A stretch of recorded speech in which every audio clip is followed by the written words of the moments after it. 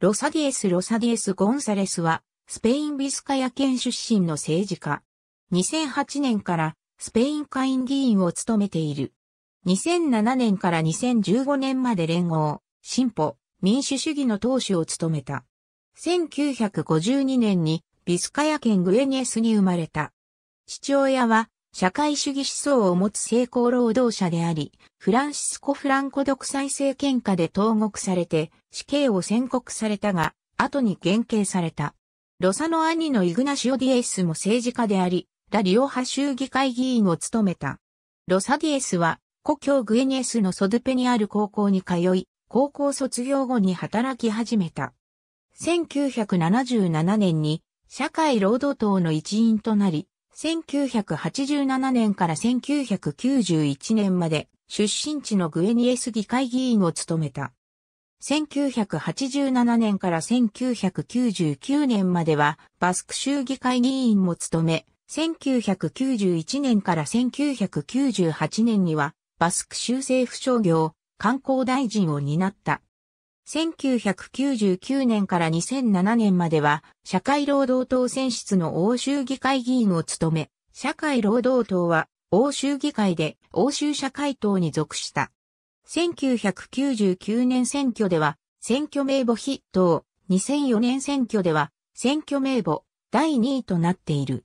バスク祖国と自由などに関する意見の相違から、2007年に社会労働党を離党した。2007年、ETA の暴力に反対する草の根市民運動、バスタジャを基盤とし、新政党の連合、進歩、民主主義の設立者の一人となった。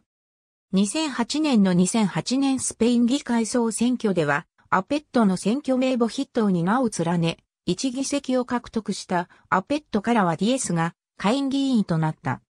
2011年の2011年スペイン議会総選挙でアペットは得票率4.7%の約114万票を得て5議席を獲得した。得票数では国民党、社会労働党、統一左翼を中心とした選挙連合、ライスキエルダプルラルに次ぐ第4党、議席数では前日の3党とアマユール、集中と統一に次ぐ第6党となった。ディエスも下院議員に再選を果たした。2015年5月に行われた地方自治体選挙でアペットは計129議席に止まり、2011年選挙時の計152議席から大きく議席数を減らした。5月24日には、ディエス自身が代表の再選を求めていないと発表し、7月11日には、公認の代表にアンドレス・ヘルツォークが就任した。バスク地方分離独立主義組織バスク祖国と自由による脅迫を受けたため、1991年から護衛をつけている。1997年には ETA によってディエスの自宅に小包爆弾が送られたが、この爆弾が爆発することはなかった。ETA の暴力に反対する草の根市民運動、バスタジャの活動にも参加している。ディエスは個人的に公務員の給料引き下げを提唱している。